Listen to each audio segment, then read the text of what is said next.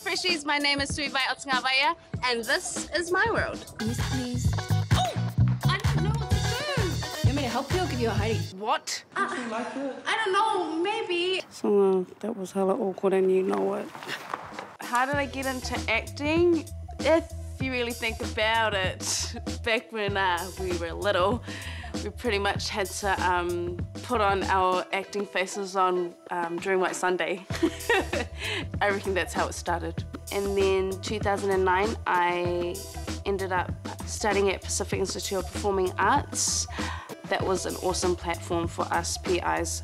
When I first got there, I was a like Pacific dancer, not knowing that in the studies that I would learn dancing, acting, singing, like everything all in one. So I came out stronger in acting and less on dancing.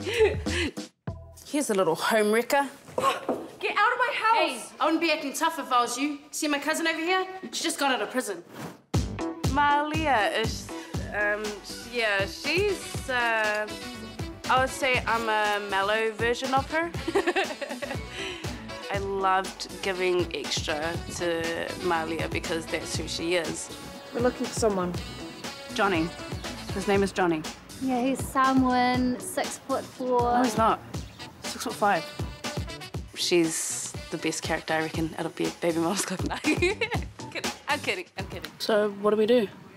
Well, I reckon that we should just have a good sit down and chat to him.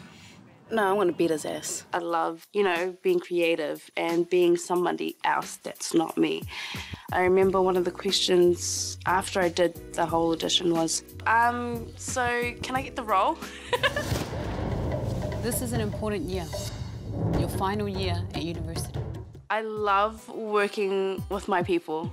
It's so much fun. Uh, they take care of us. Um, they feed us like every five minutes, which is amazing. Uh, the director was incredible. I've never been in, in that environment before where it was like you didn't see or hear stress. It was just fun, fun, fun. You just hear us laughing. Perfect. I love it. Look at that. Sam is holding a boom for David. Boom. Mic drop. Did you get that? They weren't really on board. Um, my family weren't really on board because there was that um, whole thing of, you know, performing doesn't put food on the table, uh, doesn't pay the bills. But after graduating and them seeing the end product, like the theatre shows that I've been in, they've been non-stop supportive. Now that they've seen Hibiscus and stuff, they're really mimika, but like in a, in a good way. Like it makes my heart melt to hear my family or see my family just support the stuff that I love to do. And I, I also have a family of my own. Uh, this is Braxton. Say hi, Braxton. Hi. And that's my uh, three-year-old son. B